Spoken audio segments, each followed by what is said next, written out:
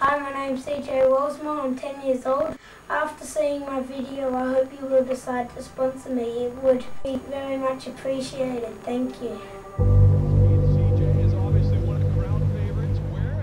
Even now, after 25 years, it's like I'm a kid every time I put skates on. CJ Wellsmore That gonna be a feeling, big record with. it's kind of out of this world.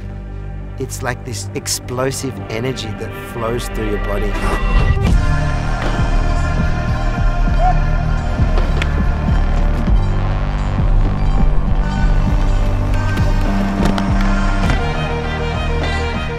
To live this lifestyle, you have to sacrifice. It's a big thing that plays on my mind constantly now. Where do I go next? What direction do I take?